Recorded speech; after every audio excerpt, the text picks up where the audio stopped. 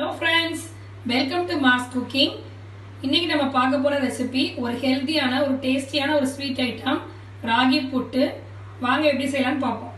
ராகி புட்டு செய்வதற்கு தேவையான இன்க்ரீடியன்ட் ஒரு கப்பு ராகி மாவு அரை கப்பு நாட்டு சக்கரை அரை கப்பு தேங்காய் ஒரு பத்துலேருந்து பன்னெண்டு ஏலக்காய். தேங்காய் நாட்டு சக்கரையும் உங்களுக்கு எவ்வளோ வேணுமோ அந்த அளவுக்கு எடுத்துக்கோங்க. நான் அந்த ராகி மாவு வந்து வீட்டிலேயே தயார் பண்ணுது. உங்களுக்கு அப்படி இல்லைன்னா நீங்கள் வெளியில் கூட வாங்கிக்கலாம். ஃபஸ்ட்டு நம்ம ராகி மாவு வறுத்துக்கலாம். நீங்கள் வறுத்துட்டு போனீங்கன்னா நல்லா வாசனையும் நல்லாயிருக்கும். இப்போ வறுக்க போகிறோம் அடுப்பு ஒரு கடாயை வச்சுருக்கேன். இப்போ நம்ம ராகி மாவு வறுத்துக்கலாம். அடுப்பை வந்து மீடியம் ஃப்ளேம்லேயே வச்சுக்கோங்க. சிம்லேயே வச்சுக்கோங்க. சும்மா லைட்டாக வறுத்தா போதும். ரொம்ப வறுக்கணும் அவசியம் கிடையாது. லைட்டாக வறுத்தா போதும். ஒரு ரெண்டு செகண்ட் மட்டும் வறுத்தா போதும். இப்போ ரெண்டு நிமிஷம் ஆயிடுச்சு மாவு நல்லா வறுபட்டுருச்சு. இந்த ஸ்டேஜில் நீங்கள் அடுப்பை ஆஃப் பண்ணிக்கோங்க. இப்போ நம்ம பவுலில் மாற்றி பிசைய போகிறோம் இப்போ மாவு ரெடி பண்ணிக்கலாம். நம்ம தண்ணியில் லைட்டாக உப்பு போட்டுக்கிறேன். போட்டு கலக்கிக்குவேன் நீங்கள் நேராக மாவில் போட்டிங்கன்னா சில சமயம் ஒன்று சேராது. இந்த மாதிரி வந்து தண்ணியில் கரைச்சி போனீங்கன்னா ஒன்று சேர்ந்து நல்லா வரும். நல்லா கரைச்சாச்சு. இது கொஞ்சமாக மாவு ஊற்றி பிசைஞ்சிக்கலாம். கொஞ்சம் கொஞ்சமாக ஊற்றி பிசைங்க.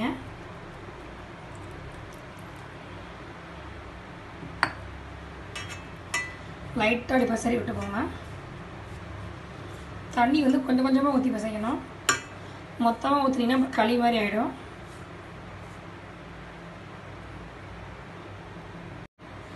இப்போ மாவு நல்லா பிசறிட்டோம். இந்த மாதிரி பிடிச்சிங்கன்னா கொழுக்கட்டை பதத்தில் வரணும். புது துடினா உடஞ்சிடணும் இதான் அதுக்கு சரியான பதம். நல்லா பசரியாச்சு. இது நம்ம நல்லா சளிச்சுக்க போகிறோம் இந்த மாதிரி சளிச்சுக்கோங்க.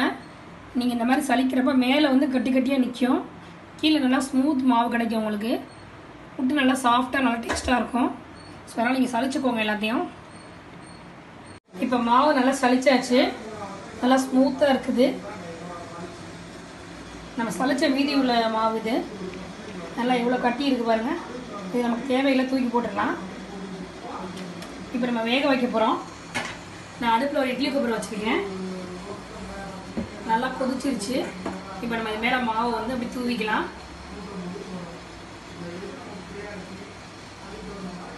இப்போ எல்லா மாவையும் நம்ம நல்லா பரத்திட்டோம். இப்போ இட்லி குப்பரையை மூடிக்கலாம். உங்ககிட்ட புட்டி மேக்கர் இருந்தால் நீங்கள் அதை யூஸ் பண்ணிக்கலாம். என்கிட்ட அது இல்லை.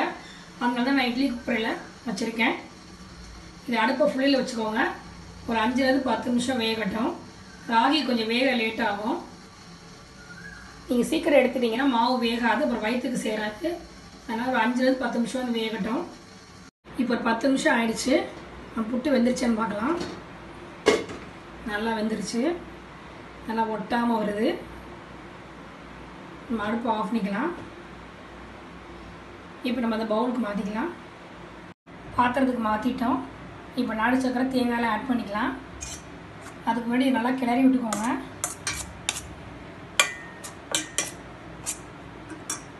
நான் இதில் வந்து ஒரு ஒரு ஸ்பூன் நெய் ஊற்றுறேன் நெய் சேர்த்தி நல்லா மணமாக இருக்கும். டேஸ்ட்டு நல்லாயிருக்கும் ஸோ ஒரு ஸ்பூன் நெய் ஊற்றிக்கிறேன் நல்லா கிளறிக்கோங்க. இப்போ நம்ம நாடு சக்கரை ஆட் பண்ணிக்கலாம். உங்களுக்கு வேணும்னா நீங்கள் ஜீனி கூட ஆட் பண்ணிக்கோங்க. நான் வந்து ஹெல்த் கான்சியஸ்னால நாடு சக்கரை ஆட் பண்ணுறேன்